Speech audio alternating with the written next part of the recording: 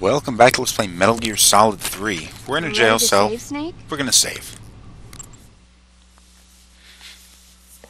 Now, in the last episode, we were caught up in the torture chamber after Volgin and the boss captured Snake, beat the crap out of him, and now we're gonna see how Snake is gonna manage to get out of this situation. Not terribly different than what happened in Metal Gear Solid. Snake was caught up in a torture chamber there. Snake, My mouth hurts when I talk. Did you get cut up? It feels like someone shoved me under a lawnmower. Do me a favor. Tell me a story to take my mind off the pain. Snake, have you ever heard of Renfield? Is that a movie? It's the name of a character. He's locked up in a cell waiting for the master to return, eating the spiders that crawl along the walls. Ugh, change the channel. He waits and waits for ages. Finally, just as he's beginning to forget whether he's human or not, the master comes for him, saying the time has come. Renfield is overjoyed. Wait, isn't this? The master spreads his huge wings and a gust of wind fills the cell. Come on. I don't want to hear this. And there, standing before Renfield in human form, was Dracula. Exactly! If you stay there too long, your old buddy Dracula's going to come and get you too. So you better start thinking of a way out of there. You better not leave me without someone to talk to. Please, Snake, think.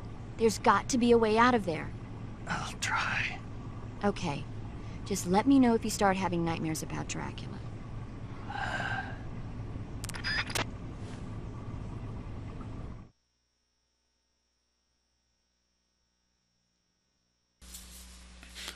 Oh, can you believe that? She goes and tells him a friggin' story about a horror movie while he's in prison, scared to death, but wait, hold on, what happened here? Well, I reset the game, and there was actually a good reason for me doing that, or at least a reason. I don't know if it's really that good of one. But we're going to restart the game, and we're going to load the save that we just created. Let's go give that a try and see what happens.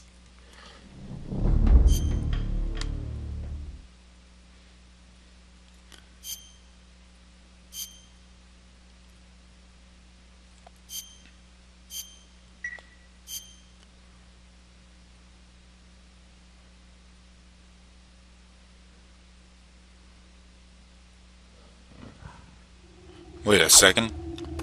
What in the hell is this? What are those things? Where's Snake? Something's wrong here.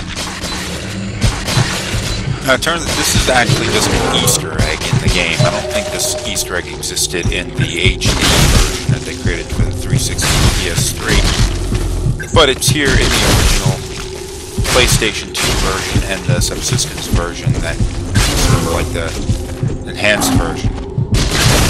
What it is, it's a game called Guy Savage, I think it's called. It was a game that was under development by Konami, and, well, I guess they figured out that it wasn't really going to go too far, which is not an uncommon thing in the game industry. Games get developed up to, to a certain point, then they axe the project afterwards. It happens. Well, this game was axed, and I guess the director of Metal Gear Solid 3 figured, you know what, well, we got this here, why not just stick it in as a weird little Easter egg, and that's exactly what it is. It is more or less just a basic hack and slash game where these weird monsters come up and this dude with the sword goes and and cuts the crap out of them. No. Police. Zombies or something that wear police uniforms. And one of the cool things about it, though, I mean, this dude, this uh, guy Savage, I guess it's called, goes and powers up, and he has this ability to. You've seen it a couple of times, where he grabs a hold of him with his weird little swords there and rips him in half, and it sort of makes this weird kind of filleted look to these guys. Now, this will continue, not indefinitely, but it'll continue for a couple of minutes or so until it will finally end, or until you die. Once you die, then it ends. There we go, it's over. Oh, I thought it was over. Okay, we're gonna kill him.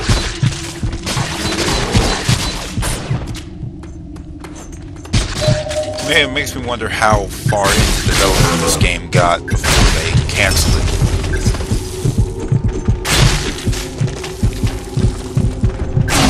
I wonder how much work they had to do to get it into this game the Metal Gear Solid 3.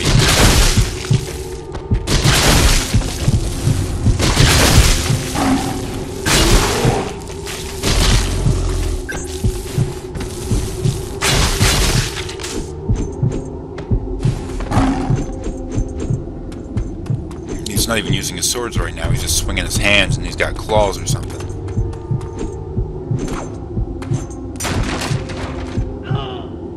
running in the boxes and they explode. There's nothing left to kill.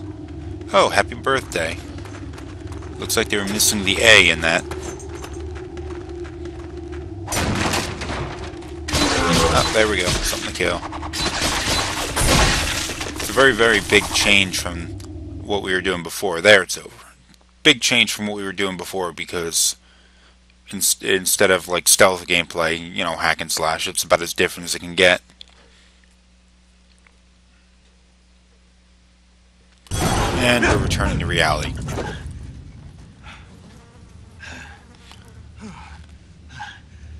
The colors are off. That was a result of a bad capture with my hardware. I, I gotta apologize for that. It's going to continue that way for the at least the rest of the episode.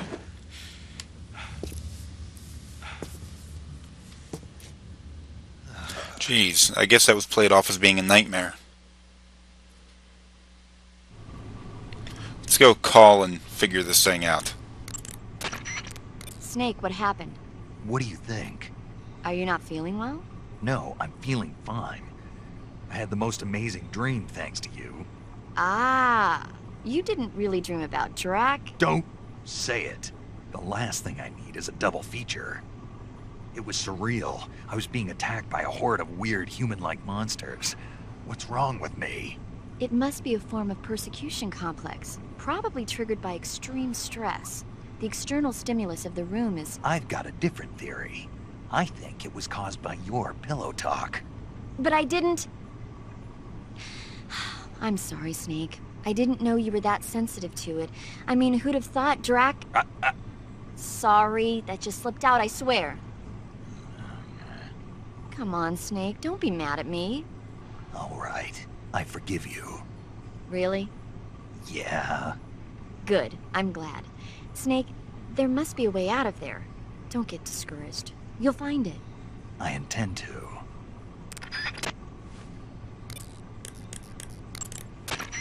Snake, what happened? Major, what year is this? Beg your pardon? Where am I? It's 1964. You're in a cell in Groznygrad. What did they do, Snake? Make you drink an entire keg of vodka? No. You know, I hear they've got 98 proof vodka in the East. Back in England, we don't call stuff like that fine spirit. We call it sulfuric acid.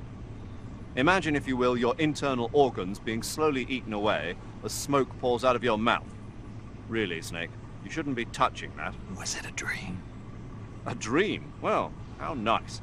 And here I thought I sat up all night worrying about you for nothing. It was almost real. I was holding this sword in my hand. Snake, are you okay? You're not going loony on me, are you? Not at all. I'll make it back no matter how much of that sulfuric acid they make me drink. Good show. I'm sure you'll find a way out of there. Yeah. Dream a little dream of your own while you wait for word from me. Snake? Eva, do they drug the prisoners here with hallucinogens? I don't think that's their style. Why? I had a pretty bad dream. A dream? This monster that I'd never seen before was coming at me with a knife. And I wasn't me, I was something else. That doesn't surprise me. You're in a mild state of shock from all the pain and exhaustion you're going through. Ah. Maybe one day you'll learn to stop hiding yourself. What do you mean? I know how you feel, Snake. I'm a spy too. You don't realize it, but the fake you is eating away at the real you. The person you're pretending to be is becoming the person you are. And the real you is screaming out from somewhere deep inside. That's what you saw in your dream. Maybe so. I'd sing you a lullaby or something, but unfortunately I don't know any. So pick your favorite song. and I'll sing it for you in your head. Any song? And you can have as many encores as you want. Sounds fun. It's a deal then. I'm sure you'll find a way to escape. Good luck. Thanks. Snake, you okay? Yeah, I had a terrible dream. No kidding. What happened? Uh, I don't want to think about it. I was being attacked by monsters that looked human, and I'm not even sure if I was really me. At least it was just a dream. It's all over when you wake up. True. When you think about it, the fact that you can imagine a situation worse than the one you're in now means life can't be all that bad. I sure hope so. Well, let me tell you about the absolute worst, most sickening nightmare I ever had. This isn't one for the kids. Okay, so there's this big pile of crap, right? It's shaped like a giant tank, and it's walking around on two legs, going on a rampage and stomping on people and houses and stuff. And this giant turd is carrying the nastiest missiles you ever saw. Like, whenever it launches one of its turd missiles, whatever it hits, people, trees, buildings, turns into shit. My hometown, my old school, my family, my girlfriend, old man John, everything in that turd's path turned into shit. That's pretty sick, man. Good thing it was just a dream, huh? Yes, that's a good thing. You feeling better now? Yeah. Good. Then let's get down to business. You see, Snake, people are just sacks of shit, and they're full of holes. Fill them up with water, and it's gotta come out from somewhere. Okay, maybe that was a bad example. What I'm trying to say is, no matter what the situation, there's always a way out. Don't throw in the towel yet. Clear your mind. Think it through. Assess the situation. You'll find a way to escape. Got it. Don't let my nightmare come true. Right.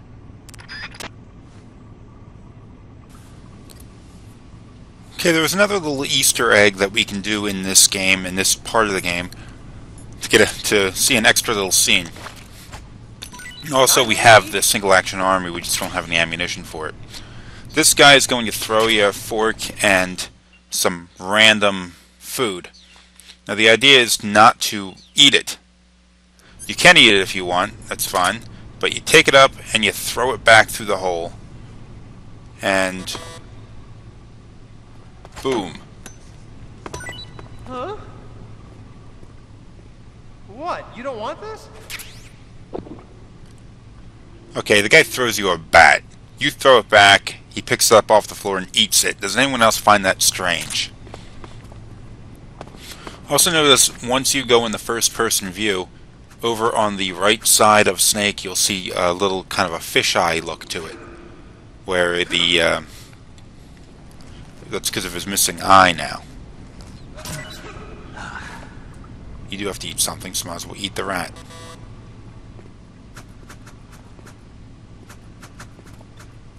He's going wild with that fork.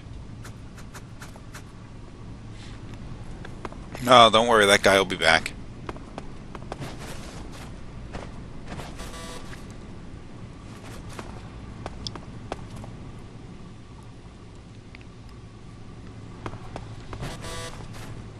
Hmm, we're stuck in prison.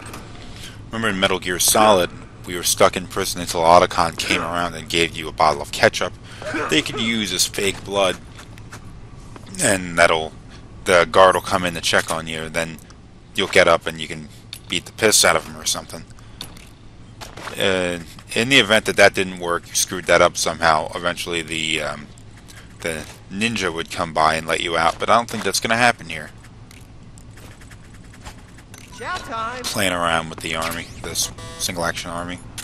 Let's do this again. We don't need no frog. Why is he throwing us frogs to eat? Don't they have any real food? Hey, thanks! Hey, thanks. I'm gonna eat this frog off the floor. Raw, apparently.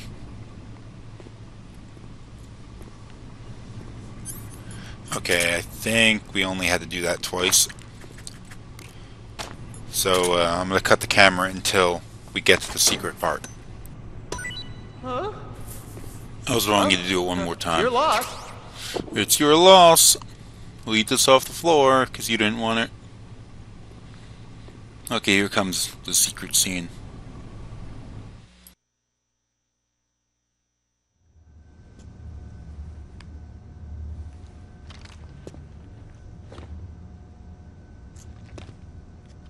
Hey, you're not such a bad guy after all. I, uh, I guess not all Americans are dogs. You mean it? Yeah. You know, before the war started, I used to live in America. I even had a, a wife and a kid. You must be pretty lonely. Yeah, I am pretty lonely. Really lonely. What's your kid's name? Johnny. Johnny. Nice ring to it. Really? You like it? Well, if you say so, I'll believe you. Actually, my name is Johnny too. All the firstborn sons in my family are called Johnny. My dad's a Johnny, and my son's son will probably be a Johnny too. The whole clan of Johnnies. Why do we have a Cold War anyway?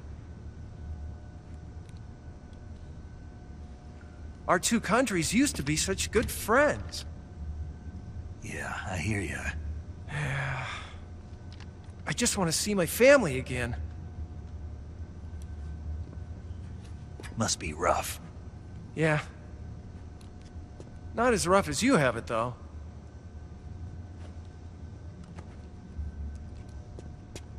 Here. I filched them from your equipment when the Colonel wasn't looking.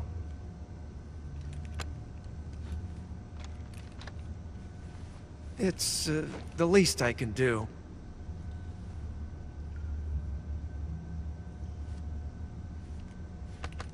Well, Don't suppose you could let me out of here. Huh? I can't do that.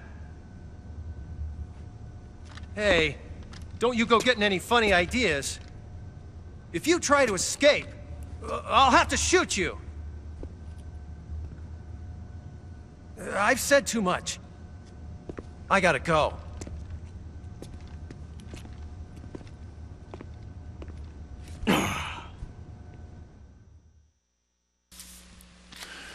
Oh, a touching moment between prisoner and prisoner. Pris prisoner and pris. Fuck, I don't know. Anyway, that guy, what that was meant to imply was that guy is the grandfather of the dude that was the jailkeeper of Solid Snake in Metal Gear Solid. Kind of a reoccurring concept. But here we go. The way you get out of the jail cell is you go to 141 point, I think, what, 75? Or some crap like that. I wrote it down somewhere, but I'm watching this well after I played it. I think it's 75. When you go and you hit that,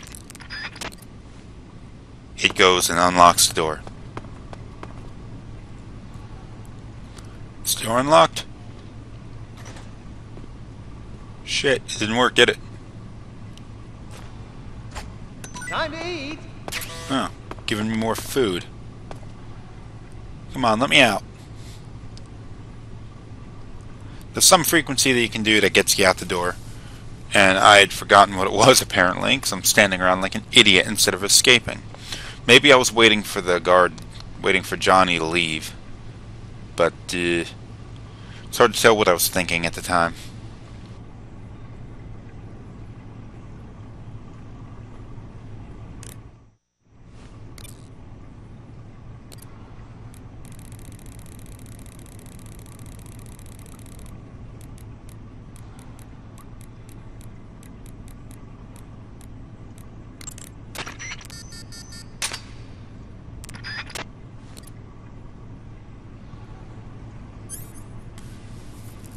Okay, that unlocked it.